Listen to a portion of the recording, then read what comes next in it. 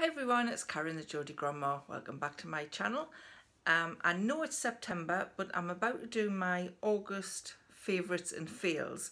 I think it's about September the 9th now, so I'm a little bit late, but I thought I would still do it. Because, so let's get on with it. Um, I'll start with a couple of things I've been watching. I've been trying to use my Netflix subscription a bit more lately. So I've watched The Imitation Game um, which is about Alan Turing who cracked the Enigma code during World War II and it actually helped shorten the war apparently by about two or three years. Um, the film's been around a while and I never really fancied watching it. Uh, I'm a bit like that with films. I'll look through, like, I'll go through all the films that are on Netflix or Now or whatever, and think, oh, I don't fancy that. I don't fancy that. So I'm using the there's a My List um, function in Netflix where you can you can put all of these things that you want to watch in your list, and then you just choose from your list what you want to watch. So I spent about 10 minutes just going through some films that I didn't, you know, I wasn't really that keen on, but I thought, oh, well, you know, it's a film. It doesn't sound too bad. I'll put it in there and we'll just watch them. So we picked the imitation game this night uh, and I really enjoyed it. Um, I didn't expect to. I didn't expect it to be humorous, which it is in places. Um, it's Benedict Cumberbatch, who I think think's a really brilliant actor, and he, you know, he was fantastic in this. It's a really sad ending. So if you if you don't know the story, which I didn't actually know the story, um, and it was quite sad at the end, but I won't I won't spoil it for you by letting you know what happens. But yeah, really enjoyed that film. I can highly recommend it. The other thing we've watched recently on Netflix is The Umbrella Academy. It's a sci-fi thing. I know a lot of people don't like sci-fi, um, but it is about uh, this group of not teenagers, but they're probably in their 20s, who are superheroes. It, it begins where there's, there's 47 children born. Um, the mothers were never pregnant. They were just all of a sudden, they, they were, you know, nine months pregnant and the child was born. And they all have some special abilities. And this American guy, or he may even be British, this guy anyway, um, buys seven of the children from the mothers who, because they'd never been pregnant and weren't expecting anything, they were probably happy to, to, to sell them on. So he buys these seven children and brings them up and they become like this superhero gang uh, and it's about them saving the world. It's a bit stupid, but I really I enjoyed the characters. I thought the characters were very well written. Each one had its own, you know, little quirks and um, storyline, which I found quite interesting. There's been two series of it and we've watched two series and I, I can't wait for the third series to come out. If you like that kind of thing, I think you will enjoy The Umbrella Academy. If you don't like that kind of thing, you won't enjoy it. Um, Robert Sheehan's in it, who was in Misfits. Um, I think he's an Irish guy, uh, but he's he's American um, called Klaus in the Umbrella Academy, and his his character is just it's fantastic. He's so funny. Uh, it's it's worth watch, watching just for his character. But yeah, I can highly recommend the Umbrella Academy. The next thing, which is me favourites this month, which is a bit odd, but if you've been, if you watched my video a few weeks ago where I was talking about wanting to lose weight and you know get my diabetes under control, this will make sense. And it is nuts. I have been enjoying nuts, yes, hazelnuts and almonds.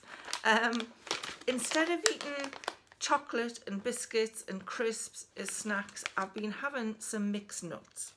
Uh, I got these from Aldi. I think they're 1.99 a pack, which is really good value because there's quite a lot in there. And I just take I take some of each, and I think I had some some walnuts as well, which I'm not so keen on, um, and some seeds that I bought, some sunflower seeds, some pumpkin seeds, and I just put them in a little bowl and I pick at them.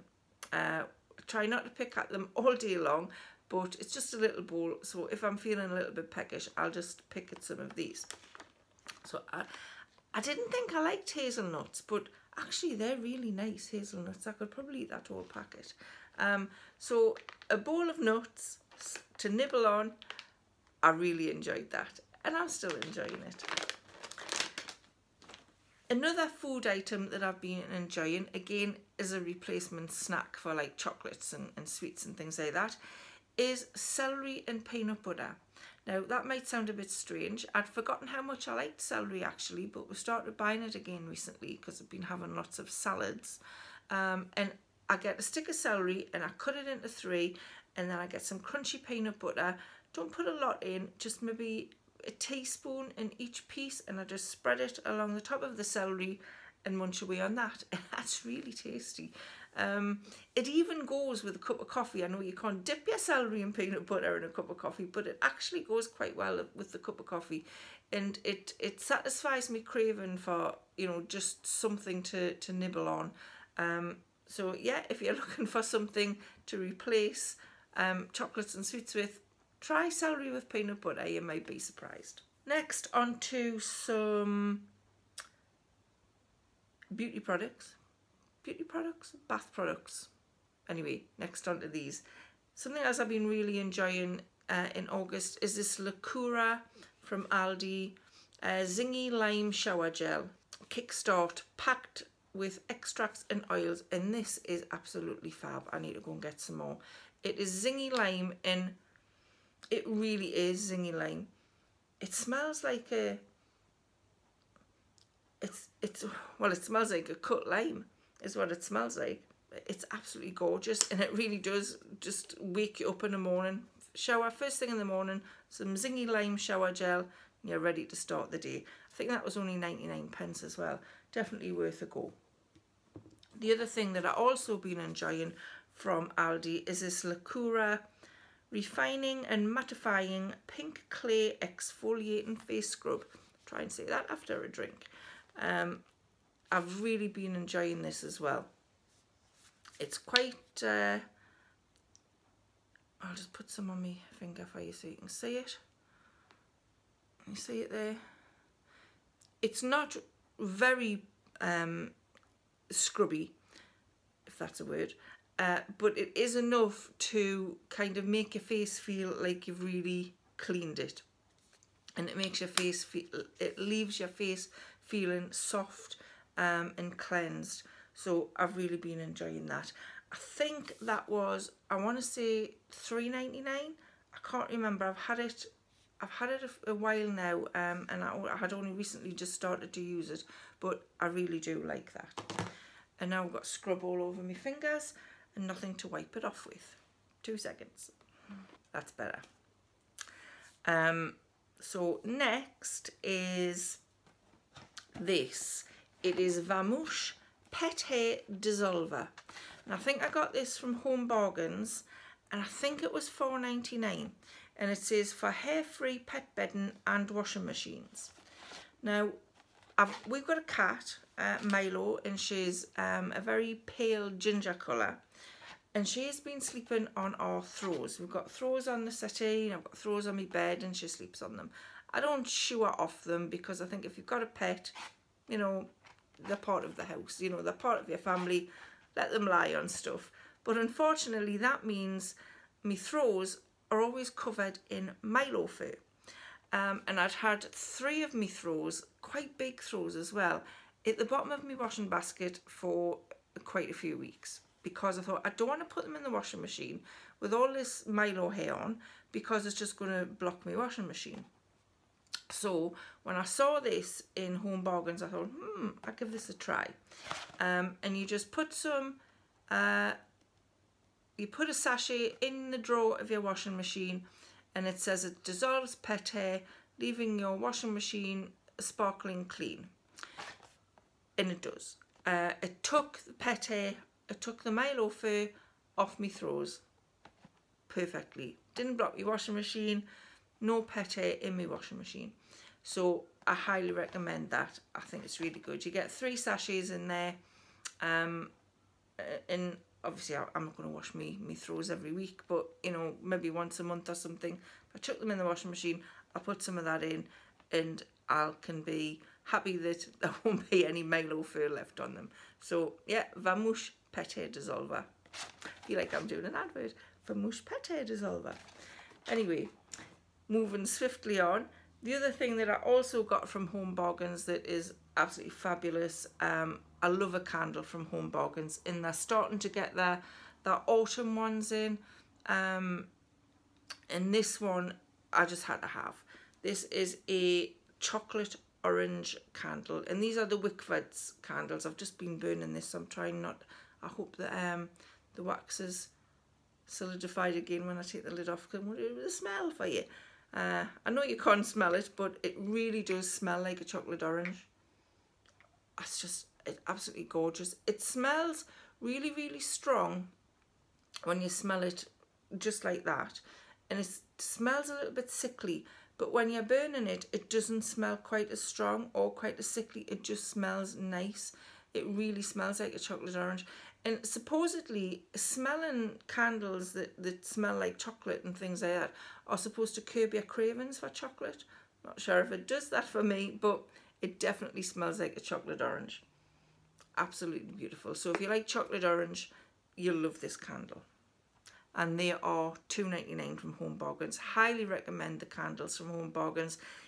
I mean, that is a huge candle. That takes me weeks to burn that. Um, and when you think the, uh, what's those other candles called? The expensive ones. I can't remember the name of them. God, what's the name of them? I'll put it in here if I remember it.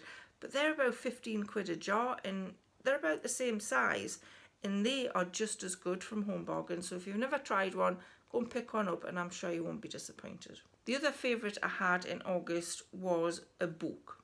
Now, this might be a bit controversial, this book, because it was the it was the book of the month in Caroline Mrs. M's um, book club last month, and it was my choice. I, I, I picked the three books that month, and The Clockmaker's Daughter by Kate Morton was the one everybody chose to read. So I've read Kate Morton books before, um, and the consensus in the, the book club group, which if you don't know about it and you haven't joined it, I'll put a link below so you can go and have a look. Um, the consensus in the group was that they didn't like the book. Uh, they found it difficult to get into, which I fully understood.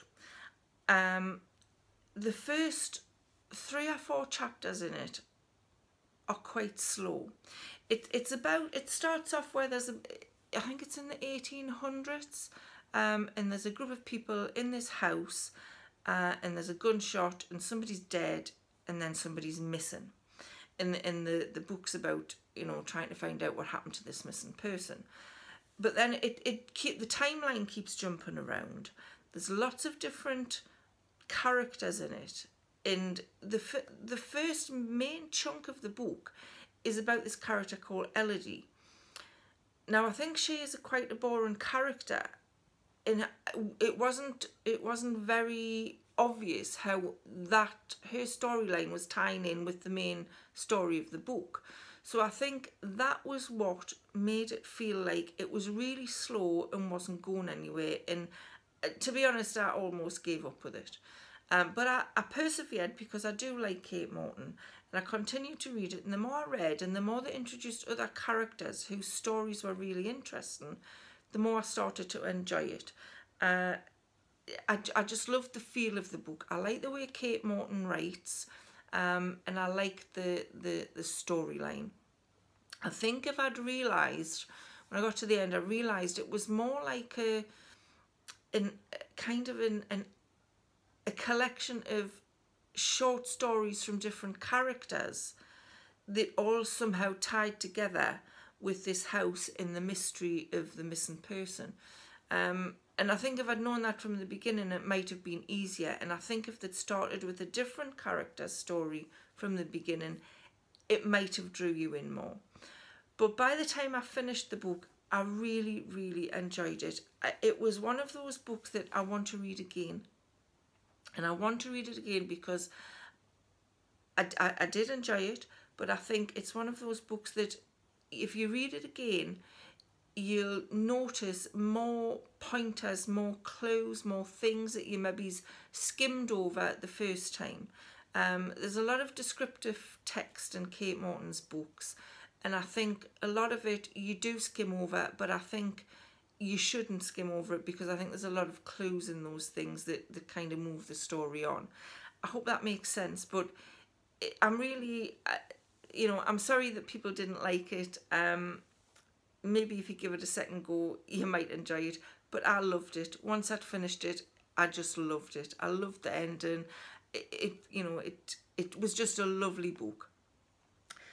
I had one fail in August that was um, a face cream and this is the Superdrug Vitamin A uh, SPF 15 Moisturising Day Cream and unfortunately this didn't work for me.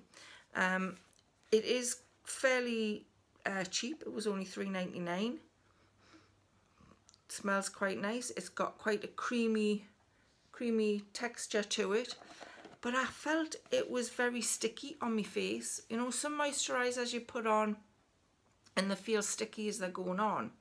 Um, but then after, you know, half an hour, it kind of doesn't. It, it sinks in. This one didn't do it for me. It stayed sticky.